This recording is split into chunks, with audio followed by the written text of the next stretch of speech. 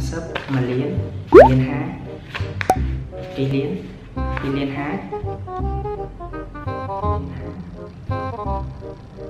លាន50រាយ10រយពាន់ម៉ឺនសែនអូខេនេះក្តារ5សែនក្តារ10ម៉ឺនក្តារ20ម៉ឺនអូអូខេខ្ញុំវល់មកលើវៀតណាមហើយ បាទសួស្តីអ្នកនរគ្នាសូមស្វាគមន៍ជាថ្មីមកកាន់ Channel Family Life TV អូខេយើងជួបគ្នាជាមួយនឹង clip ថ្មីមួយទៀតដូចអ្នកនរគ្នាដឹងហើយចាំមិញគឺខ្ញុំបាទបានធ្វើដំណើរទៅលេងទីក្រុងហូជីមិញបាទថ្ងៃនេះគឺខ្ញុំបាទនឹងធ្វើវីដេអូមួយបង្ហាញអ្នកនរគ្នាទៀតអំពី currency in Vietnam so ខ្ញុំនឹងធ្វើ វីដេអូដែលតកតងទៅរូបិយវត្ថុនៅក្នុងប្រទេសវៀតណាមដោយអ្នកទាំងអស់គ្នាដឹងស្រាប់ហើយថាគ្រប់ប្រទេសទាំងអស់នៅលើពិភពលោកពួកគេតែងតែមានរូបិយវត្ថុសម្រាប់ខ្លួនហើយការប្រើប្រាស់រូបិយវត្ថុរបស់ប្រទេសដទៃក៏មានខ្លះខ្លះដែរតែមិនទាំងស្រុងទេប៉ុន្តែអ្វីដែលសំខាន់គឺវាមានការផ្លាស់ប្ដូរបាត់ដែលភាសាអង់គ្លេសគេហៅថា exchange money so today I would like to tell you about the currency in Vietnam so let's start it បើសិនមកអ្នកទាំងអស់គ្នាមកដល់ប្រទេសវៀតណាមអ្នកទាំងអស់គ្នាប្រកាសជាឆ្ងល់ហើយថាហេតុអីបានលុយវៀតណាមគឺធំធំម្ល៉េះហើយអ្នកខ្លះគឺគាត់បាននិយាយទៀតថានៅវៀតណាមស្អីកថាប៉ុន្តែអ្វីដែលអ្នកនិយាយបែបនោះគឺមិនត្រឹមត្រូវទេខ្ញុំសូមបដិសេធទាំងស្រុងដោយសារអីខ្ញុំរស់នៅនិងសិក្សានៅទីនេះស្រាប់យ៉ាចំពោះតម្លៃតំណែងគឺដូចគ្នាទាំងអស់នៅស្រុកខ្មែរហើយមានកន្លែងខ្លះគឺលើសយើងដែរដែលឧទាហរណ៍ដូចខ្ញុំឧទាហរណ៍ទឹកសឹកមួយដប អាខ្វវីណាយ៉ាអាហ្នឹងមានតម្លៃ10000ដងគឺ2000នៅកន្លែងអស់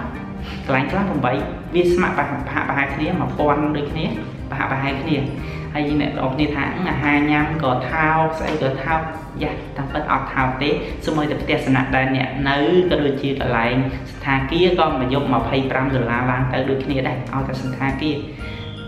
ចាស់ហើយមួយវិញទៀតថ្ងៃនេះគឺខ្ញុំនឹងធ្វើវីដេអូបង្ហាញអ្នកទាំងអស់គ្នាអំពី currency នៅប្រទេសវៀតណាមឬរូបិយវត្ថុនៅប្រទេសវៀតណាមហើយដូចយើងដឹងស្រាប់ហើយថាប្រទេសវៀតណាមគឺជាប្រទេសកុម្មុយនីស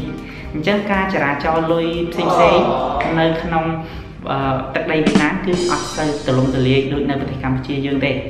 ចំពោះលុយដុល្លារគឺមានការដូរនៅតាមប្រទេសឬក៏តាមធនាគារអីបានប៉ុន្តែបើចំពោះលុយខ្មែរឬលុយបាតអីគឺដូចជាអត់សូវមានចរាចរណ៍ទេ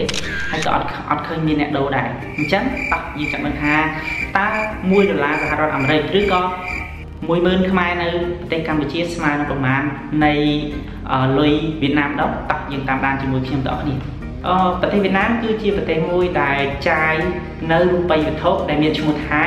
VND ឬក៏វៀតណាមដងលុយដងដែលយើងហៅថាលុយដងហ្នឹងឥឡូវខ្ញុំចង់បង្ហាញអ្នកនរគ្នាអំពីលុយដងបន្តិចហើយដែលกระดาษទូជាងគេបំផុតគឺกระดาษ500ដង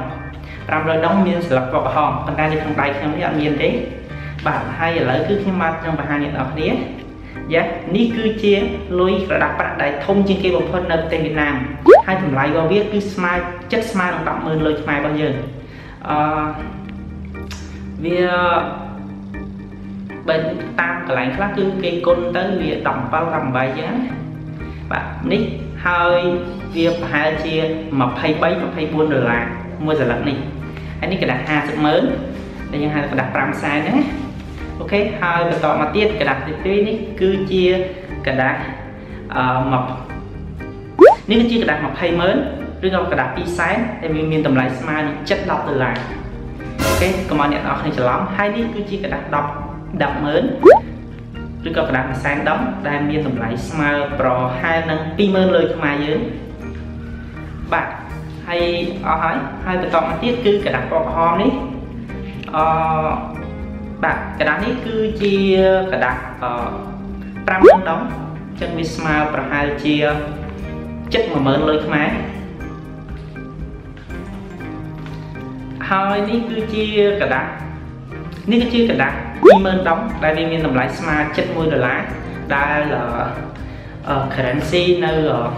តាមព្រំដែនឬក៏នៅតាមធនាគារគឺគេដូរប្រហែល1ដុល្លារអាមេរិកគឺស្មើនឹង23300 23300ដងយ៉ាអានេះគឺជាกระดาษ10000ដងដែលវាមានតម្លៃ72000លុយខ្មែរយើងយ៉ាហើយមួយទៀតគឺกระดาษនេះគឺกระดาษ5000ដងហើយវាមានតម្លៃចិត្តប្រហែលជា1 1000លុយខ្មែរអឺប បន្តមកទៀតกระดาษដែលទូជាងกระดาษ5000គឺกระดาษ2000ដែលមានតម្លៃស្មើប្រហែលជា400ទៅ500ហើយនេះគឺជាกระดาษ1000ដ ក្រដាស់1000ដងនេះគឺវាមានតម្លៃស្មើប្រហែលជា2 300លើខ្មែរអត់ប្រហែលជា100ជា200អស់ប្រហែលជា200 300លើខ្មែរយ៉ាហើយក្រដាស់500គឺក្រដាស់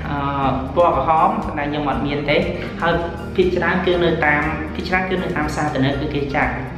ហើយចំពោះការចរាចរលុយដុល្លារនៅប្រទេសវៀតណាម គឺអត់សូវមានទេប៉ុន្តែបើកន្លែងឧទាហរណ៍ដូចជាកន្លែងតំបន់ទេសចរធំធំដូចជាកណ្ដាលទីក្រុងអីគឺមានចាយលុយដុល្លារខ្លះខ្លះដែរអឺវីដេអូថ្ងៃនេះគឺខ្ញុំគ្រាន់តែចង់បង្ហាញអ្នកទាំងអស់គ្នាអំពី currency ដែល1ដុល្លារឲ្យតែចាំថាជាងគុណតែ23ទៅបានហើយដូចជា1ដុល្លារគឺស្មើនឹង23000ដងហើយបើចំពោះលុយខ្មែរវិញគឺនៅតាមកន្លែងកន្លែងខ្លះគឺគេគុណ17កន្លែងខ្លះគឺគេគុណ18តាម ចេញថាប៉ុន្តែពីច្រើនយើងយកតាមធនាគារ ACDA ទៅយើងដូរ100ដុល្លារដូចជាបាន2លាន3សែន30000ដងយ៉ាប្រហែលប៉ុណ្ណឹងអូខេអរគុណច្រើនអ្នកនរគ្នាសម្រាប់ការតាមដានទស្សនាវីដេអូមួយនេះហើយយើងនឹងជួបគ្នានៅវីដេអូក្រោយៗទៀតហើយខ្ញុំនឹងធ្វើការវីដេអូក្រោយនេះគឺខ្ញុំនឹងធ្វើការ unboxing នៅ monitor ហើយខ្ញុំនឹងធ្វើ vlog បន្ទិញ monitor ហ្នឹងនៅប្រទេសវៀតណាមចា៎អូខេជួបគ្នានៅវីដេអូក្រោយទៀតបាយបាយ